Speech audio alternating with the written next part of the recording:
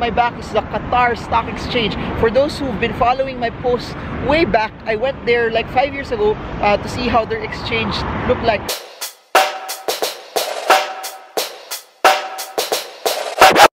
Good morning guys, so I just woke up, it's time for breakfast. I'll try to give you an update while I'm eating on what's happening in the markets Hey guys, so as of 2.30 p.m. Manila time, the market is up 7250, which is consistent with the breakout uh, from last week from 7180 and it's now also above 72 levels. So what, what does this mean? You can expect it to make a push to around 74, 75 levels uh, as long as uh, we stay above those support levels as well. Uh, there's a resistance though at 7380 which we have to see that the market has to also break out from to, for this to be as sustainable as ever. But as of this point in time, similarly, the update that I posted last night, we still really haven't seen any significant resistances been broken.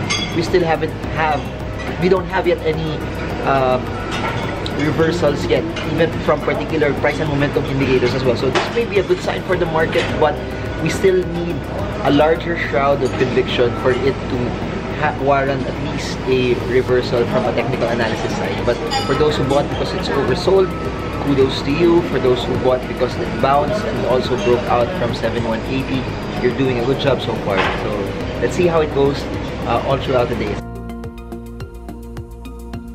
guys, so it's like 42 degrees outside. Let's see how long I'll last. No, I plan to do at least two stocks by request outside, but let's see. 42 degrees is very, very hard in all uh, measures, all standards, but uh, let's see how long and how far I can walk uh, as I go and walk outside. To walk outside? Yeah, it's okay.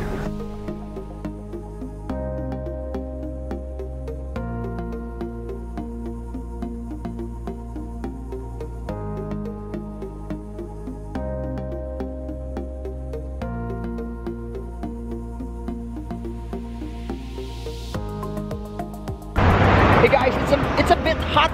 I've been I've been walking just for a few minutes, but I, I already feel the heat and the humidity as well. But as promised, Parsa Vlog will make it will make a lot of stocks by request for you guys. The first stock that I'd like to talk about is Mega World.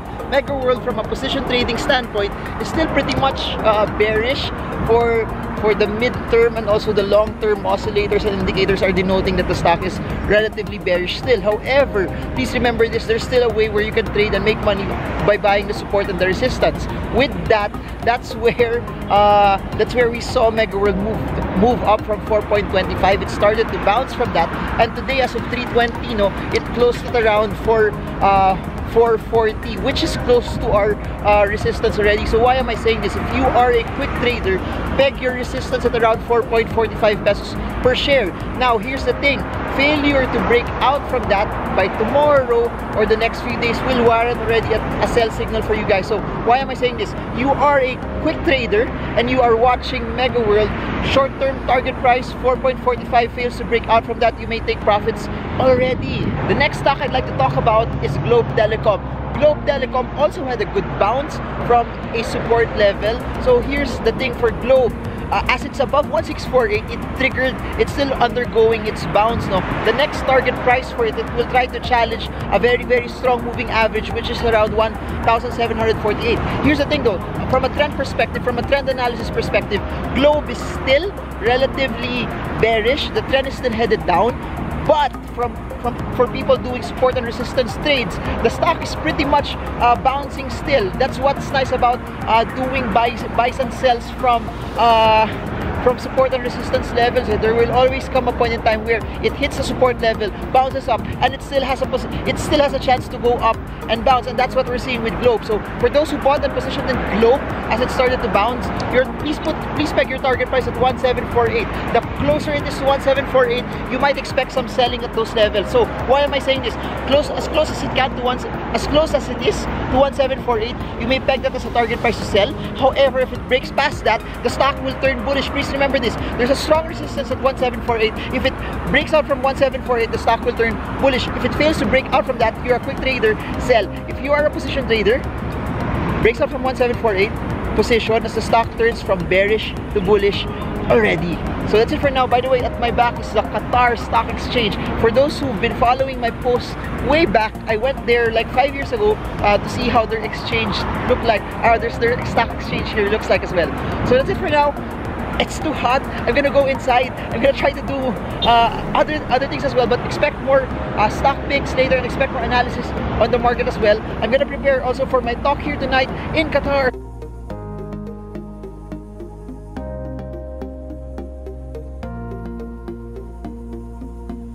I had to go in the mall because it was too hot. I couldn't go to the same route where I passed uh, from my hotel going out. So good thing there's an interconnection from this uh, back to my hotel. So thank you for air conditioning.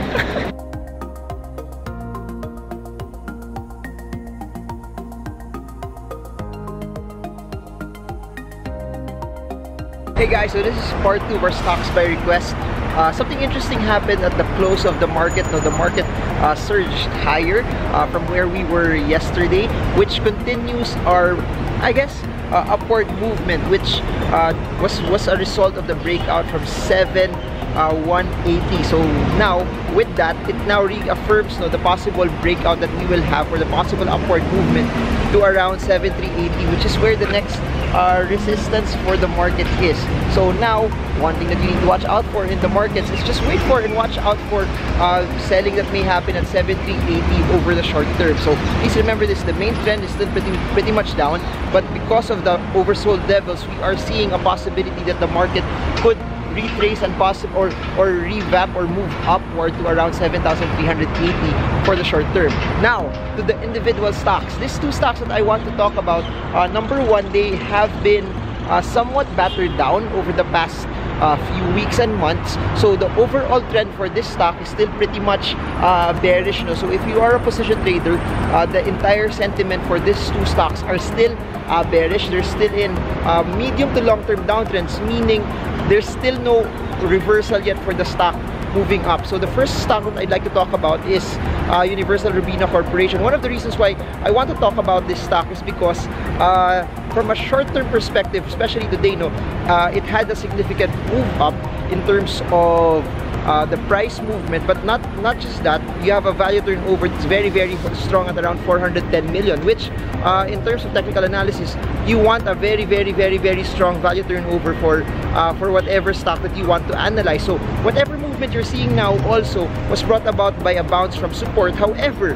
here's one thing that's interesting. The stock started to bounce from a 20-day uh, moving average or breakout from a 20-day moving average which from a tech perspective this is something very very interesting because uh, the bounce from that next moving average would let it challenge the next one which is around uh, the 50-day moving average. But should uh, this breakout progress further, no, I, I believe the next resistance could be pegged at around 130 pesos per share. Uh, 130 could be the next area where there you could see a lot of selling from uh, from traders as well as investors. So, but beyond that, uh, the movement will probably have a, if it breaks out from that moving average the next target price could probably be uh, the 200 day moving average which is around 140 uh, pesos per share. So that's something worth looking at and worth uh, analyzing for for the short term. So let's see how it goes and let's see how it will progress uh, even further. But the overall trend is still pretty much bearish. You have the resistance at around 100 100 30 for the short term. Then you have another one at 140 uh, which is a much longer and stronger one as well. So the next stock is Metrobank. Metrobank is up because it bounced from the support at 71 so again similar to URC this stock is still bearish for uh, the short term no? the stock is still in a downtrend. However because there's a change in direction similar to URC uh, similar to URC also there's a there's a price movement as denoted by the price and momentum oscillators and also because it's oversold it bounced from the 71 level. So now what what what are we expecting here? What's the what's the battle plan for for this. It's now approaching the uh, hello guys. Hello. so it's now approaching the 20-day uh, moving average. As it's approaching the 20-day moving average, you can expect a level of selling for the stock. However, uh, if it breaks past the 20-day moving average, I believe it can and will challenge the the 50-day moving average, which is around 79.3. So a breakout from the 20-day moving average will now make it move and go to around 79.3, which is the next resistance. However, please take note of this. There's the for it to actually reverse, it must break out of 89 uh, pesos per share. So it's still pretty far from uh, where we wanted to be. It's still pretty far from uh, the, the, the target price for it to actually have a shot at reversing as well. So that's how you analyze Metrobank and that's how you analyze URC.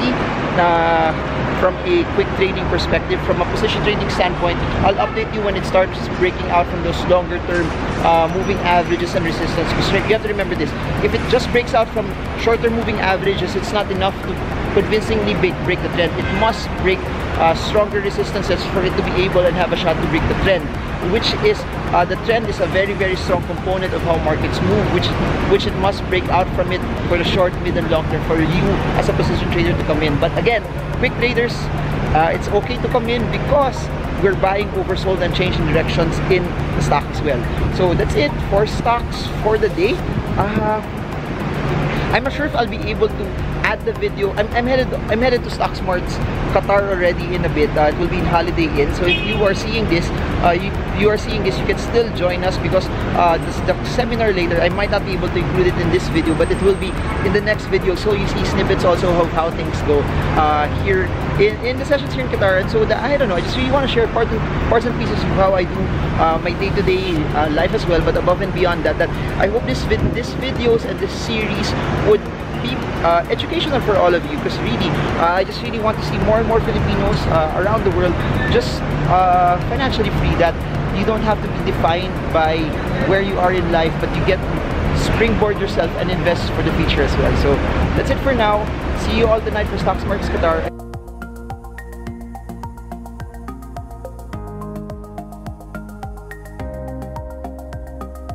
finished the first session here in Qatar. It's almost 1 a.m. here, 6 a.m. Manila time, but I'm still filled with energy because it's such an exciting feeling to be able to talk about stocks and to be able to just educate more and more Filipinos about trading the markets with ease and confidence. So, guys, see you all for day two of our technical analysis sessions and fundamental analysis sessions here in Qatar. And I hope this video helps you trade well, trade strong, trade smart. Marvin Germo from Qatar. See you all again soon.